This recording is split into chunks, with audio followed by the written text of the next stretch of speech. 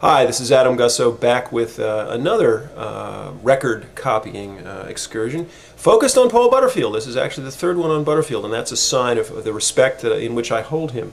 He's not the only great harp player from the past who molded my style. In fact, when you listen to my playing, hopefully you'll, you'll decide at various moments that I've stolen from everybody. That's a good place to be. Um, but he's somebody who was very important uh, to me. Um, and, uh, and part of what this little series is about is, is, is trying to figure out what do, can you take from a particular player. One of the things that I took from Butterfield was a way of playing triplets over a medium shuffle. This was not something that uh, that any other player, to my knowledge, had really been doing. Uh, now, players did do triplets this way, and when I say triplets, what do I mean? Well, let's say we're doing.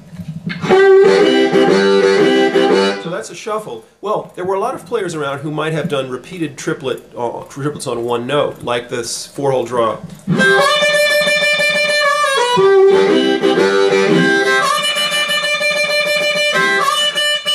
But it's not the way, for example, that Little Walter played or that Junior Wells played, or that Cotton played particularly. It's not the way that Sonny Boy Williamson played. If, if, uh, if Junior Wells was playing a, a medium shuffle, he'd do...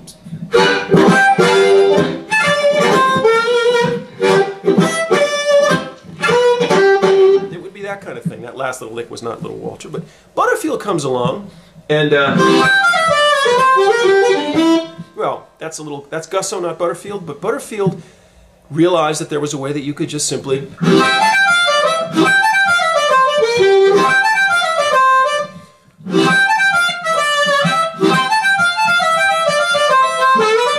Again, um, that's some of that's Gussow, not Butterfield, but that's where I got it. I, the idea of triplets.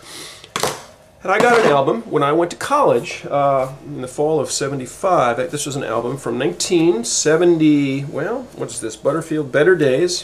Uh, 1973 with Too Many Drivers. Talk about the cuts that blow your mind. I couldn't get past Too Many Drivers. I didn't know what he was doing, but I knew that I needed to play this triplet style. And so that's sort of what I was doing. Let me put on the cut, come right back at you. So listen to the intro.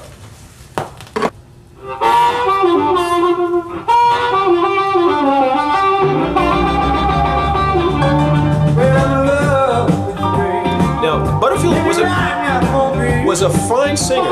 This, of course, was a, was a song I, I didn't know, but it went way back. Many, many blues players had done this through the years.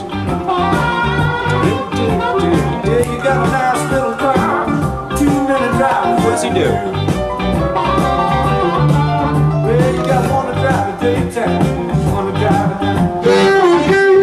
Okay, so we've got a C harp, basic middle of the road G shuffle and he's going to do his solo. His blue thirds are perfect, but, but it's the triplets.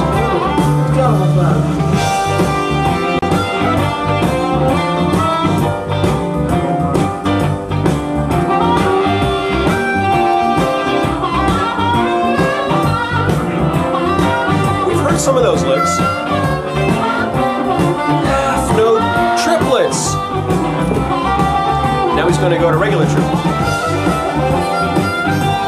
Who'd ever done this? But listen.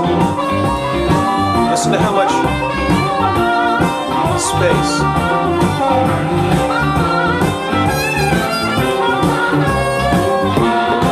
That was the stuff, man. That was the stuff that killed me. Now, the other thing about Butterfield style is, listen, if you go back and were to get this cut and listen to it, too many drivers is that he leaves a lot of space. His phrasing is unbelievable. He has the speed, but he doesn't use it. But that thing at the end, right? That's the one that I think got.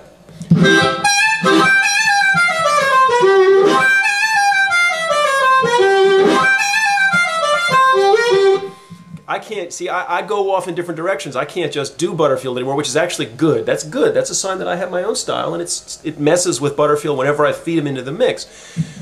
What I like about him, okay, is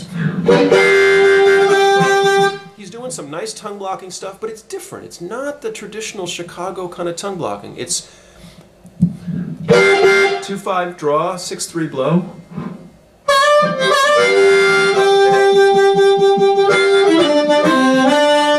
Now that's the Butterfield lick. So what's he doing there?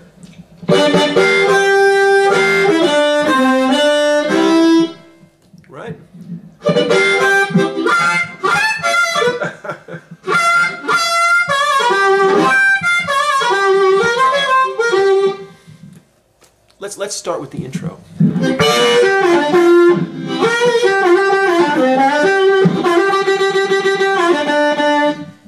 Now, this is not a lesson about how to play um, too many drivers. It's a lesson on what you can get from these cuts. So I'm not going to take you all the way through. I just want to note what he's doing. Perfect blue third. Perfect two draw bend. Let me do it real slow for you.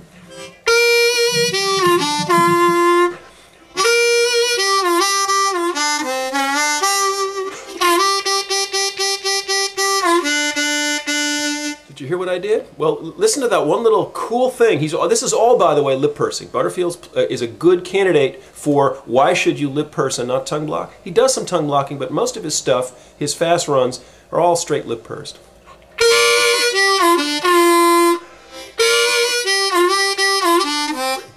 I just do?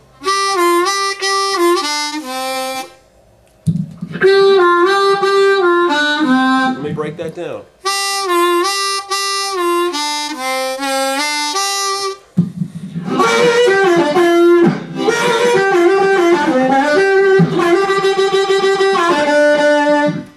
You think I'm right? Let's go back and listen to it one more time and see if I got that right. I don't know. I think I did. Let's hear it. Come on, man. Come on.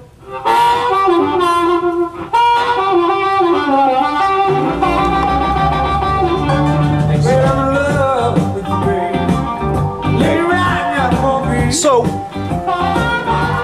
so this is what this is the secret. We didn't have jam tracks when I was learning harmonica. This was my jam track.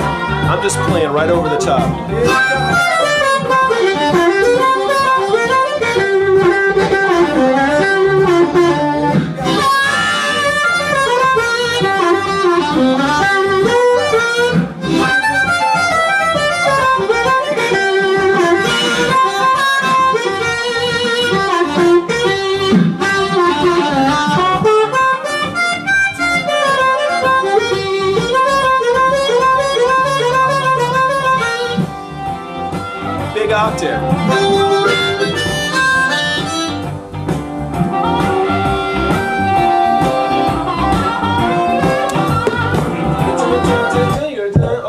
Lick we're going to end this thing with.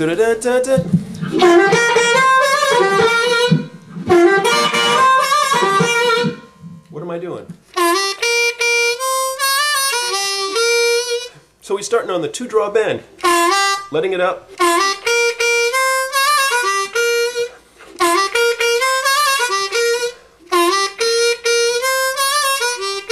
two, three, four, one. I don't even know where it is relative to the timing. Are you having fun? I'm having fun with this. I can't believe it's taken me this long to get through Butterfield. I've only done one Butterfield cut on each lesson.